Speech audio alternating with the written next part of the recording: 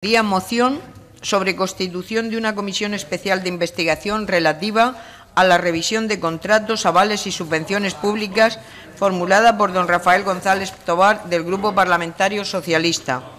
Para la presentación de la moción, en nombre del Grupo Parlamentario proponente del Grupo Socialista, tiene la palabra el señor Ibar Ferrer.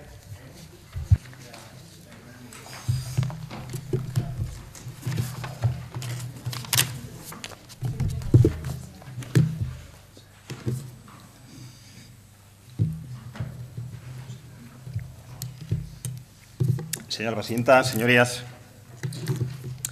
el artículo 72 del reglamento de la Cámara establece que la Asamblea Regional podrá constituir comisiones especiales siempre que el Pleno así lo decida para un proyecto o proposición de ley concreto, para llevar a cabo una investigación o para cualquier otro contenido específico. Proteger los servicios públicos requiere mejorar las estructuras organizativas y el funcionamiento de las administraciones públicas para conseguir una utilización más eficiente y eficaz de los recursos económicos con los que garantizar objetivos de calidad, justicia social y equidad. Ello requiere medidas de modernización, simplificación y racionalización de la actividad, así como una evaluación periódica de los objetivos cuyo grado de ejecución debe ser siempre público. El Partido Socialista defiende unos servicios públicos de excelencia, cuya legitimación provenga del aprecio de la ciudadanía por los mismos y de su carácter universal. Es imprescindible continuar avanzando en esa calidad de la prestación y, por ende, en esa calidad hacia las pequeñas, medianas, grandes empresas, autónomos, organizaciones sin ánimo de lucro, que participan en distintos contratos, licitaciones, avales y o subvenciones que la Comunidad Autónoma de la Región de Murcia pone en marcha. El Partido Socialista, en su programa electoral de las últimas elecciones autonómicas, incorporaba entre sus medidas la revisión de los contratos públicos de la comunidad autónoma para someterlos a un análisis crítico y detectar posibles irregularidades o incumplimientos. Es por coherencia con dicho programa electoral y por convencimiento propio de que cuanta mayor transparencia y mayor control, menos corrupción y más democracia, hemos presentado esta iniciativa que traemos a debate hoy. Y partiendo de esa premisa, la traemos a debate por tres razones. Para ejercer una transparencia real, para averiguar las razones de algunas sombras de duda en la gestión de contratos, avales y subvenciones, y para prevenir, si es el caso, que se puedan dar situaciones como las que recientemente han ido apareciendo en otras comunidades autónomas, por no hablar de algunos ayuntamientos, y que no hace falta recordarles a sus señorías. A mayor control, insisto, menor corrupción. Investiguemos, pues, por transparencia, eliminación de dudas y prevención. ¿Por qué investigar para una transparencia real en esta comisión? Miren, señorías, con lo fácil que es darle a una tecla, solo a una. Y el Gobierno regional, la única información que ofrece sobre transparencia en los contratos es la siguiente. En el año 2014 se, se ofrece información sobre los contratos menores del segundo semestre e información sobre contratos, llamémosle mayores, del año completo. Aparecen los contratos menores por un importe total de aproximadamente 20 millones de euros, así como los contratos mayores por un importe total de 310 millones de euros, año 2014. No hay ni una sola información, ni una de los años anteriores, ni una absolutamente, y bastaba con darle a una tecla. ¿Por qué no hacemos un ejercicio de transparencia y la hacemos pública? Igualmente les digo, ¿cómo puede ser que en dos documentos teóricamente sacados de la misma fuente de información, coincidan en el número de contratos, pero haya una discrepancia de 29 millones de euros en el global de la suma de los contratos. Les estoy hablando de los datos suministrados en sus páginas oficiales de la comunidad autónoma, en concreto de la web de transparencia de la comunidad autónoma y de la memoria de la Junta Regional de Contratación Administrativa. Mismos datos, 1.180 contratos, errores en 29 millones de euros. Si los datos son los mismos, permítannos que con lo que ha caído, que con lo que ha caído tengamos sombras de duda y que desconfiemos del origen de estas modificaciones numéricas.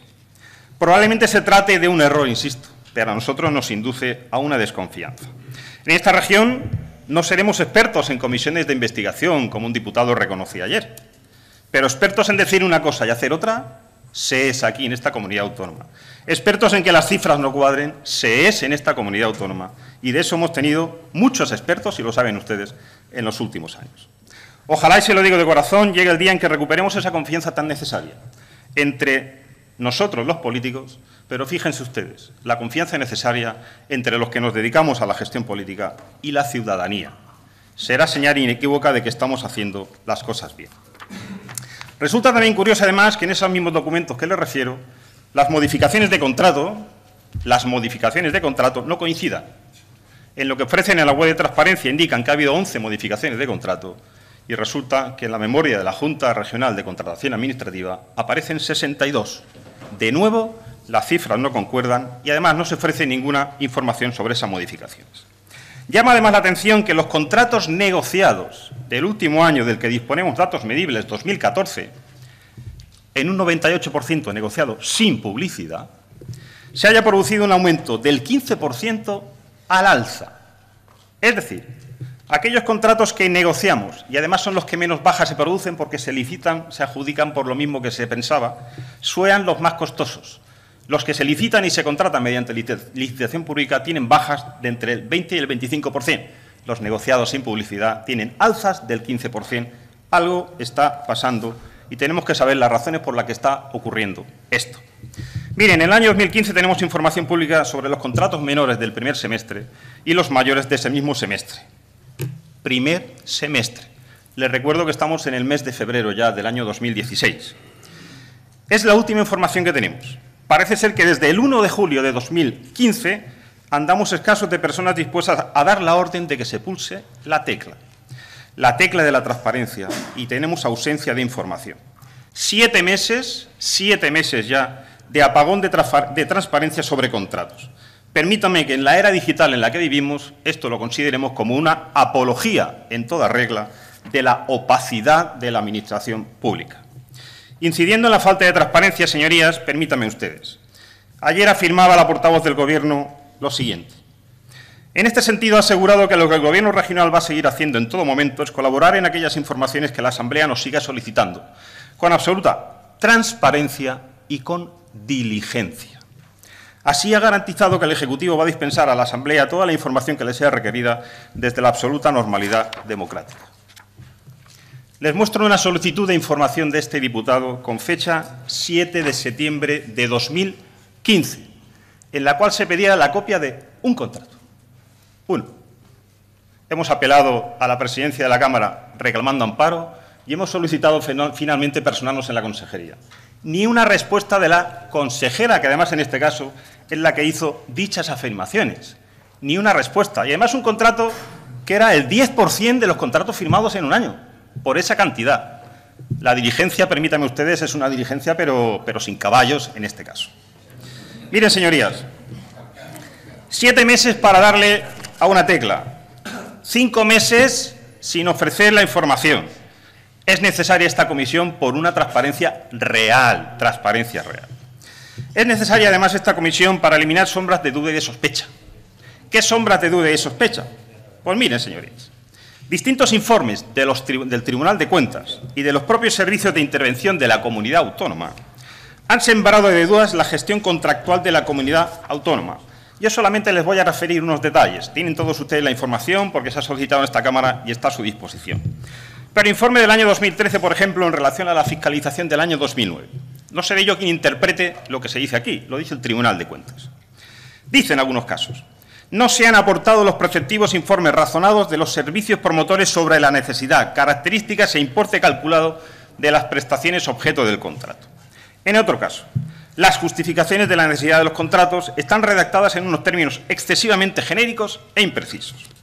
En otro caso, la tramitación de un determinado contrato se fundamentó en una propuesta en la que se indica que han sobrevenido determinadas circunstancias que hacen aconsejable no prorrogar un contrato y no se especifican las circunstancias. En otro caso, no se ha justificado la utilización del procedimiento restringido que ha provocado, atención, una limitación en la concurrencia de licitadores, una limitación en la transparencia y publicidad y la competencia de los licitadores. Y en otro caso, se observa una confusa tramitación de los contratos adjudicados mediante procedimientos negociados, donde se confunden los objetos de negociación con los criterios de adjudicación. Y un sinfín de deficiencias más. Incluso en el Boletín Oficial del Estado se tuvo que publicar en el año 2013 los acuerdos de la Comisión Mixta del Tribunal de Cuentas, requiriendo a esta comunidad autónoma, requiriendo lo siguiente. Son 17 puntos, les voy a leer dos. Reiteramos, es importante esto, ¿eh? Reiteramos, entiendo que reiteramos, saben ustedes lo que significa, ya se lo hemos dicho, les reiteramos. Reiteramos al Gobierno de la Comunidad Autónoma que en relación con la contratación administrativa adopten las medidas necesarias para que todos sus órganos procedan a ajustar su actividad a los requisitos establecidos en la ley. Eso lo dice el Tribunal de Cuentas. Además, que justifiquen debidamente en los expedientes la necesidad de contratación y se concreten los métodos de puntuación o de baremo. Nos está diciendo que no tenemos concretados esos métodos y que no estamos ajustados a derecho.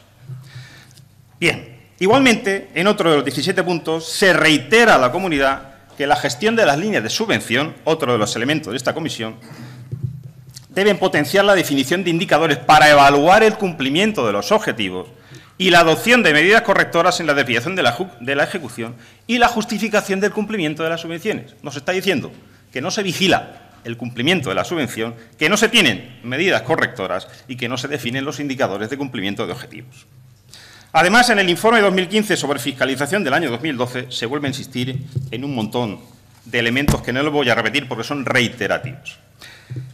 Señorías, estas cuestiones que dice el Tribunal de Cuentas, no las dice el Partido Socialista, nos llena a nosotros por lo menos de dudas y nos indica que año tras año se repiten las mismas consideraciones sin ponerle ninguna solución. Este conjunto de consideraciones nos hacen tener un mar de dudas y por ello es necesaria esta comisión de investigación. Una comisión de investigación, además, para prevenir situaciones no deseables, como les he dicho, con la que está cayendo en otras comunidades autónomas, en ayuntamientos, resulta imprescindible adoptar medidas de control y supervisión de los contratos, avales y subvenciones. Podemos hacer dos cosas. Esperamos que pase algo y luego empezamos a hacer una revisión para asegurarnos de que todo está en orden o lo empezamos a hacer ya y revisamos si hay algo para poderle poner solución. Nosotros apostamos por esa medida. La finalidad de esta comisión, sin ninguna premisa de alcance temporal de la investigación, entendemos que tiene que ser proactiva evaluadora de la situación y con propuestas de acción para mejorar toda la, gestión de la contratación pública en la región de Murcia.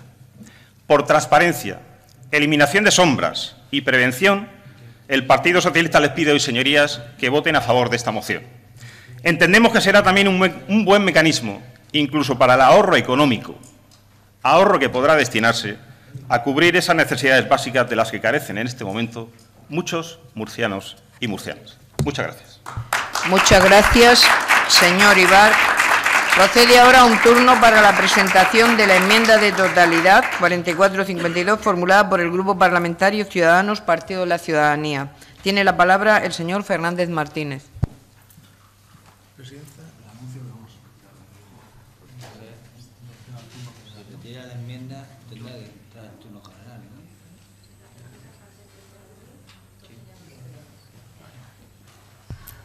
Bien, eh, el Grupo Parlamentario Ciudadanos, Partido de la Ciudadanía, retira la enmienda. Por lo tanto, pasamos al turno general de intervenciones. En este caso tiene la palabra eh, el Grupo Parlamentario Ciudadanos, Partido de la Ciudadanía.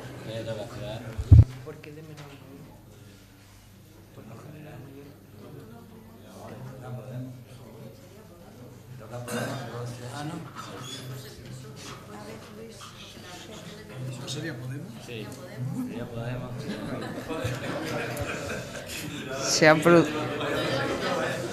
eh, si rectifico, rectifico en este caso como el proponente era el Grupo Parlamentario Socialista, el turno general de intervenciones tendría la palabra el Grupo Parlamentario Podemos, eh, después tendría el, Grupo Parlamentario Ciudadanos y después sería el Grupo Parlamentario Popular.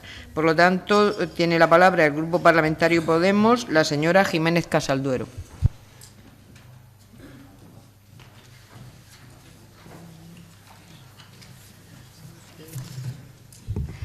Muchas gracias, señora presidenta. Señorías, Debatimos hoy aquí la creación de la Comisión Especial de Investigación relativa a revisión de contratos, avales y subvenciones públicas a propuesta del Partido Socialista. Todos sabemos que el clima de desafección de la ciudadanía con la labor de los responsables políticos en cuanto a la buena gestión de los servicios públicos va en aumento. En muchas ocasiones, esa mala gestión desemboca en casos de corrupción que hacen insostenible la creencia de que aquellos que han sido elegidos por las urnas para gestionar nuestros recursos actúan en beneficio de lo colectivo, del interés general o de la mejora de la calidad de vida de la ciudadanía. El clima de descrédito y desconfianza se ve justificado por cada escándalo que salta día tras día a los medios de comunicación. El clientelismo, el despilfarro, las designaciones a dedo, las licitaciones irregulares, la falta de información pública son un caldo de cultivo que genera la sospecha de que estamos siendo gobernados con irresponsabilidad y falta de respeto al ciudadano. La Asamblea Regional no es un órgano jurisdiccional, pero sí ha de ejercer, entre otras, la función de control del Ejecutivo y en este sentido se convierte en una herramienta clave para conocer con precisión cómo, cuándo y con quién se relaciona la Administración Pública Regional, algo que debería saberse sin ninguna traba, pero que el actual sistema político de esta región lo impide. La realidad es que los órganos de control interno de la Administración y los de control externo han evidenciado limitaciones en el ejercicio de sus competencias y se han mostrado insuficientes para abarcar todo el ámbito de la prevención y erradicación del fraude y la corrupción. Ante la aplicación que se viene haciendo de la ley de contratos de la Administración, obviando cualquier herramienta de transparencia y participación, se muestra necesario poner los mecanismos de esta Cámara al servicio de la ciudadanía para facilitarle la información que se le está ocultando por los cauces por los que se le debería facilitar. Todos recordamos, no hace muchos meses, el procedimiento de adjudicación de la casa de acogida para mujeres inmigrantes en el que se modificó el pliego de condiciones y fue redactado ad hoc para permitir la entrada de empresas sin experiencia, dejando fuera asociaciones que llevan años en la defensa de las mujeres inmigrantes. Aquí el criterio que primó fue el de rentabilidad, en vez de esa es la política social del Partido Popular. ¿Qué pasa con las numerosas externalizaciones y reorganizaciones de servicios públicos de la comunidad autónoma de la región de Murcia? ¿Les suena la idea de privatización de servicios públicos de manera encubierta?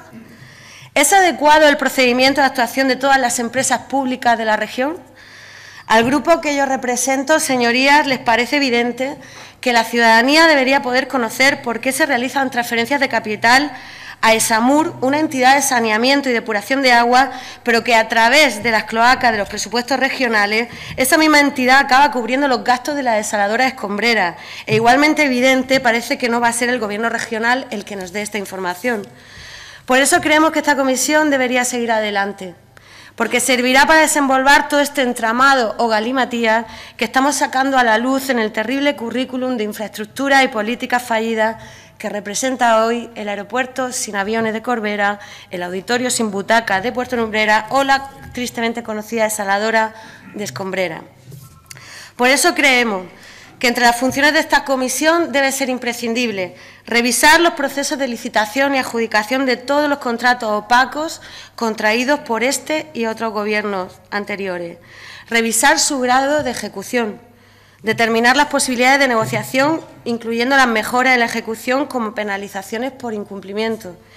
Establecer mecanismos de control que permitan un seguimiento periódico de la ejecución de los contratos y, en su caso, de las revisiones que se acuerden por la Comisión.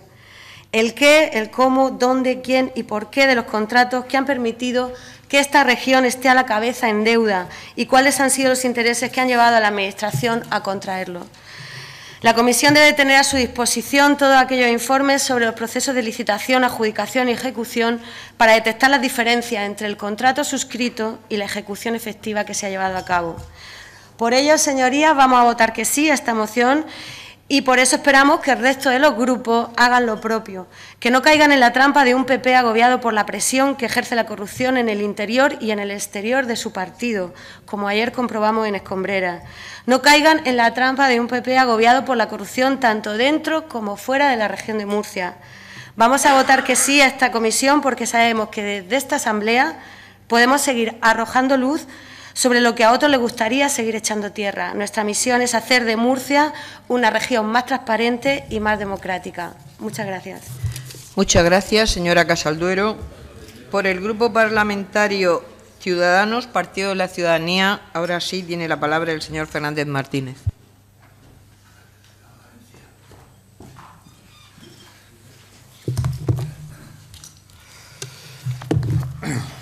Muchas gracias, señora presidenta. Señorías, público asistente. Ciudadanos, por supuesto, aboga por la total transparencia dentro y fuera de las instituciones y, por tanto, estamos totalmente de acuerdo en que se controlen y se fiscalicen los contratos, avales y subvenciones públicas. Por tanto, estamos de acuerdo con el Grupo Parlamentario Socialista en que se puede establecer ese control en los contratos, avales y subvenciones. Cuatro ojos ven más que dos. Mayor transparencia, menor corrupción. Aunque, señorías, también he de recordarle que algunos de los contratos, compromisos y otras obligaciones contraídas por el Gobierno de la región de Murcia se han traído a esta Cámara y, en algunos de los casos, han sido aprobados por unanimidad o casi, y que ahora están siendo objeto de otras comisiones de investigación. Debemos exigir el cumplimiento de la ley. Es lo principal en esta Asamblea Debemos exigir que se cumpla la ley de contratos del sector público, en el cual se establece la publicidad y conocimiento de todos los contratos. Debemos de eh, realizar también la exigencia de la ley de transparencia y de eh, participación ciudadana de la comunidad autónoma de la región de Murcia.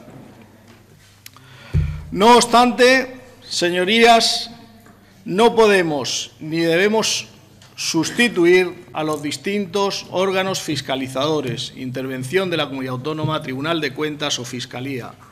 No consideramos que esas sean nuestras funciones, si bien es cierto que en nuestra labor de control al Gobierno sí deberíamos analizar y estudiar aquellos contratos, avales o subvenciones que, no sean, que nos sean denunciados o que por su cuantía relevante para las arcas de la comunidad autónoma también nos hagan afrontar responsabilidades importantes. No hay nadie del Gobierno, pero permítanme que sea didáctico al Grupo de Parlamentario Popular para que transmita estos temas al, al Consejo de Gobierno. En cuanto a los contratos de obras y servicios, aprendamos varias cosas. Los contratos se deben de ejecutar según lo establecido en el pliego de condiciones y evitar las modificaciones a posteriori. Hay que estudiar todos los inconvenientes y reformas a realizar previos a la licitación del contrato. Ningún ciudadano entiende cómo en la casi totalidad de los contratos realizados por la Administración se supera sin pudor y con creces el precio presupuestado, ya que si tuviéramos que hacer una reforma en nuestra vivienda con nuestros recursos, no admitiríamos que el contratista nos quisiera cobrar por encima de lo inicialmente presupuestado.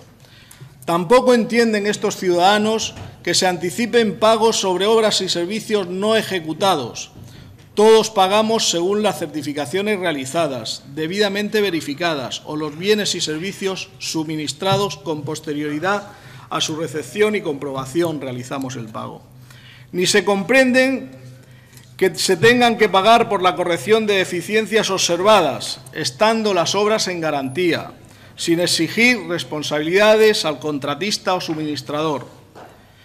En cuanto a los avales, señorías, dos premisas por cierta experiencia que, me, que, tengo en este sector. Primera, no se avala lo que no se está dispuesto a pagar. Segunda, si se avala una mercantil, no se entiende de ninguna de las maneras que los socios de dicha mercantil no avalen también la operación crediticia de la que se trate o restrinjan sus obligaciones de no exclusión o de pago a primer requerimiento o cualquiera de las condiciones establecidas en el contrato de aval. Ya lo he manifestado en esta Cámara. Si el beneficiario del aval no asume todas sus responsabilidades, es porque a la menor duda de viabilidad del negocio va a dejar de cumplir sus obligaciones y que pague el avalista, en este caso todos los murcianos. En cuanto a las subvenciones, señorías, sirven para potenciar los distintos sectores económicos, las zonas o áreas deprimidas de nuestra región de Murcia, o bien ayudar en determinadas circunstancias, pero no deben servir para el beneficio de unos pocos a los que se les den sin la debida concurrencia y publicidad.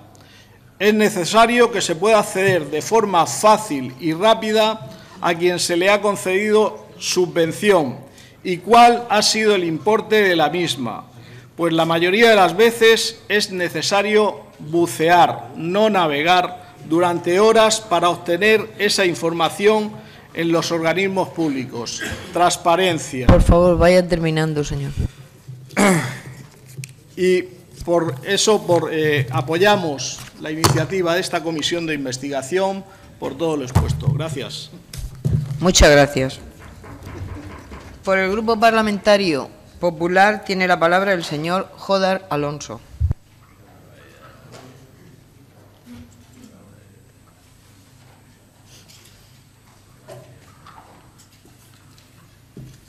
Muchas gracias, señora presidenta. Señorías, muy buenos días. En los años que pasé haciendo oposición política aprendí muchas cosas. Entre ellas, que para ganar unas elecciones era necesario trabajar para conseguir la confianza de los ciudadanos, algo tan difícil como convencer a la gente de que eres persona de fiar y que el partido con el que trabajas pues eh, lo hace cada día para mejorar las condiciones de vida de la colectividad.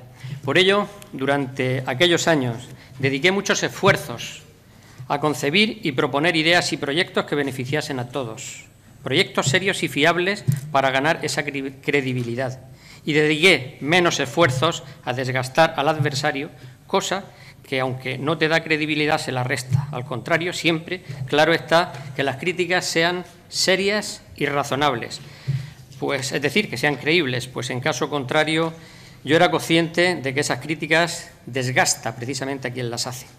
Compruebo y me felicito, señor Ibars y señores del resto de los grupos parlamentarios de la Asamblea, que ustedes comparten conmigo esos criterios de cómo desarrollar una leal oposición en beneficio de la sociedad y del propio partido.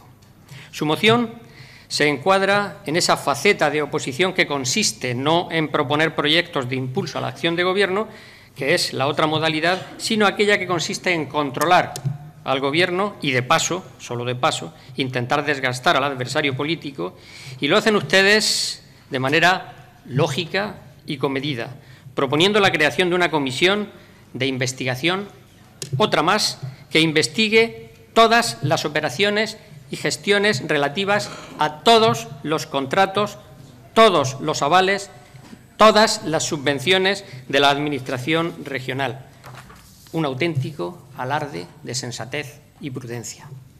Al fin y al cabo, solo son unas cuantas decenas de miles de expedientes los que esa comisión tendrá que estudiar. Y es una propuesta lógica, razonable, y sobre todo realista, con la que sin duda ustedes van a incrementar ese gran activo de credibilidad que ya tienen en la sociedad murciana y que incrementan día a día.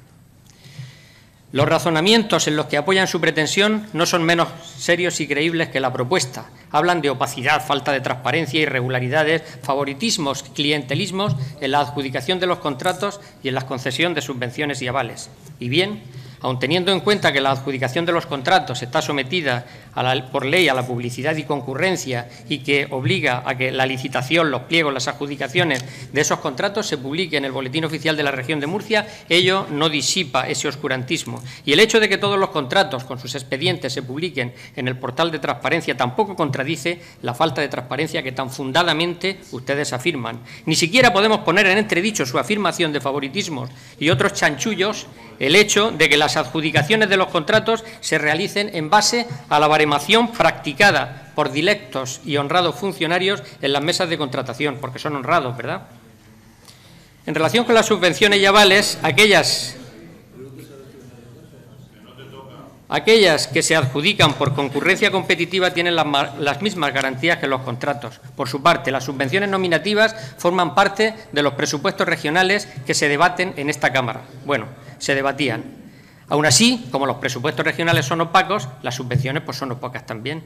Y las subvenciones y avales que se otorgan por concesión directa se plasman o bien en un decreto o bien en un convenio que siempre van precedidos por los preceptivos informes de intervención y de los servicios jurídicos evacuados por competentes y rigurosos funcionarios. Y además, los expedientes completos de tales concesiones se cuelgan en el portal de transparencia y además, recientemente, en un portal nacional, en una plataforma nacional controlada por la Intervención General. Pues bien, habrá que decir también que tales hechos tampoco son suficientes para desdecir tan serios y responsables argumentos de arbitrariedades, irregularidades y amiguismos.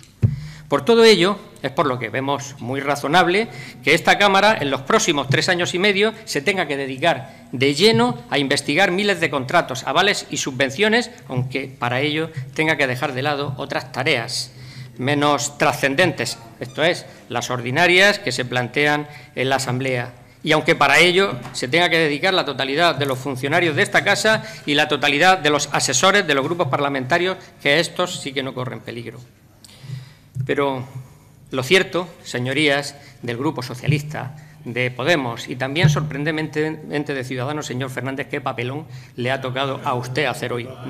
Por lo cierto, señorías, es que desde el Grupo Parlamentario Popular pensamos que el trabajo que desarrolla la Cámara, al margen de investigarlo todo, es necesario y útil para Murcia y para los murcianos. No somos muy partidarios de las cazas de brujas macartianas y como quiera que desde el Grupo Popular estamos convencidos de que lo racional es investigar y revisar únicamente aquello de lo que haya indicios razonables de anomalías y como además no dudamos de la competencia profesional y de la integridad de los funcionarios que velan por la limpieza de los procesos. Por favor, vaya terminando, señor Joda. Termino enseguida, señora presidenta. La adjudicación de los contratos y avales y subvenciones, como digo, estos profesionales velan por la limpieza de su concesión y como tampoco dudamos de la integridad y buen criterio de los miembros del Gobierno regional y también atendiendo a los esfuerzos de transparencia que se hacen al adjudicar todos los expedientes en los diversos ámbitos, es por lo que, señor Ibars, no estamos de acuerdo con su moción.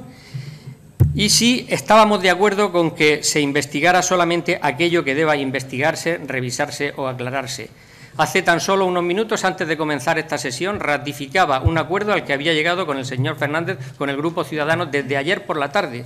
De nuevo, en la trastienda, pues hace Señor unos Jodar, por favor, vaya terminando. Ya termino. Pues parece ser que de nuevo el tripartito se ha puesto en funcionamiento para que imponer la sinrazón de la caza de brujas sobre todo lo razonable de los acuerdos a los que habíamos llegado. Yo lamento mucho decir esto, señor Fernández, pero porque me gusta el diálogo, pero no son ustedes fiables. Pienso proponer a través de señor Jodar, por favor, está excediendo su tiempo. Le ruego que termine. He terminado, señora. Tendrán ustedes noticias de este tema porque no es posible llevarlo a cabo. Muchas gracias, señoría.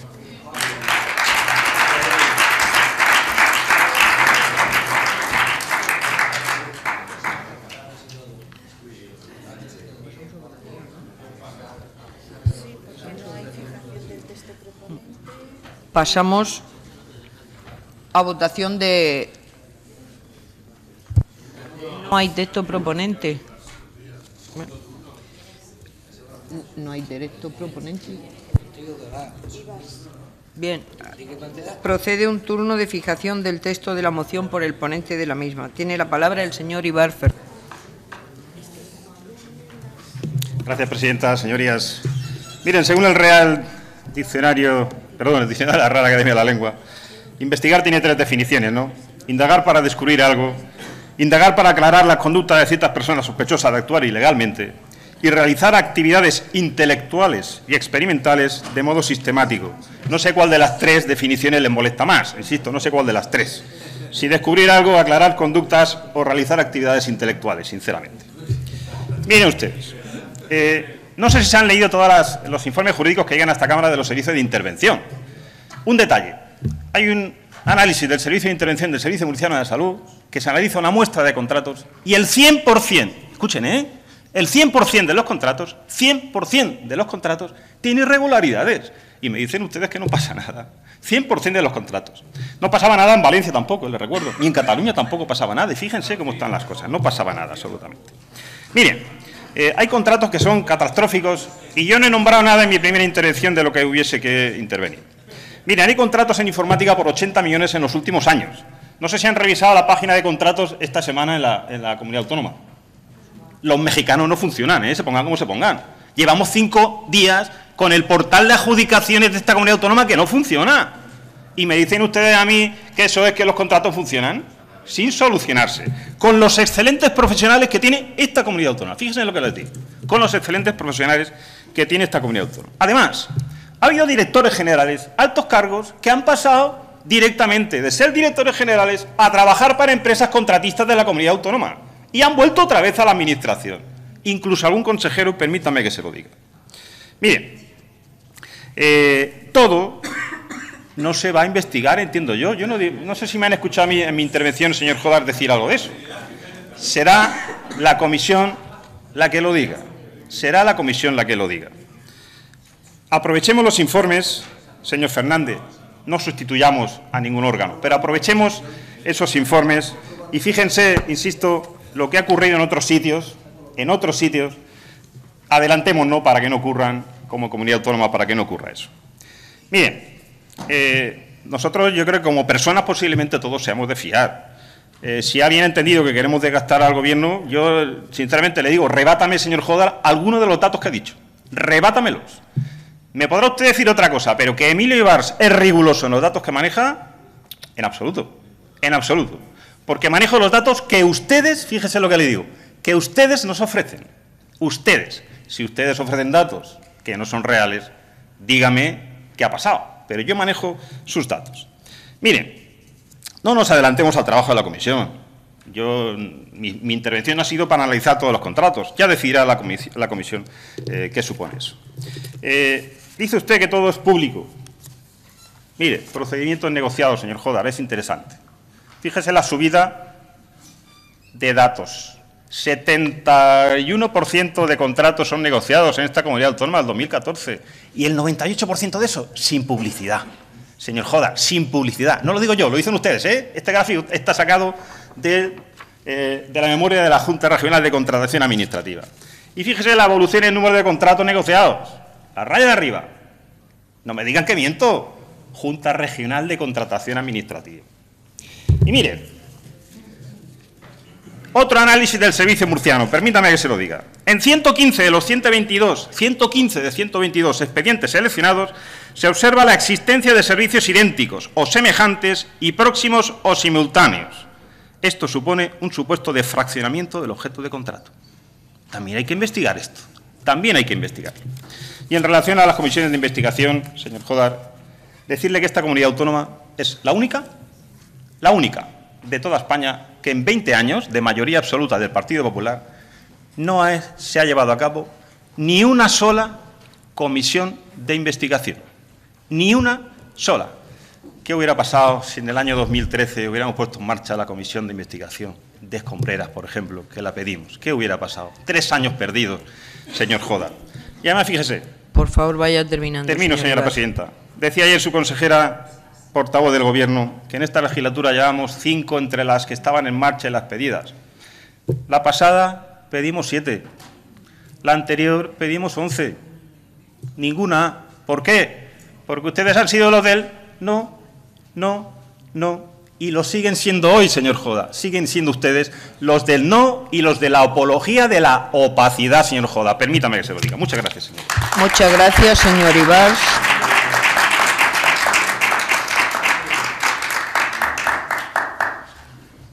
Pasamos ahora a votación de la moción. ¿Votos a favor?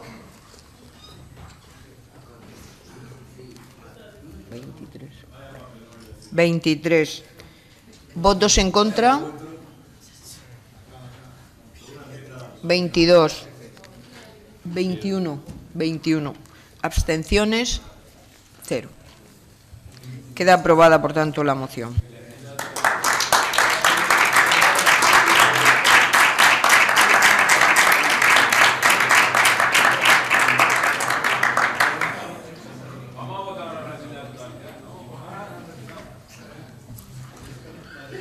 Moción sobre solicitud de medidas de rescate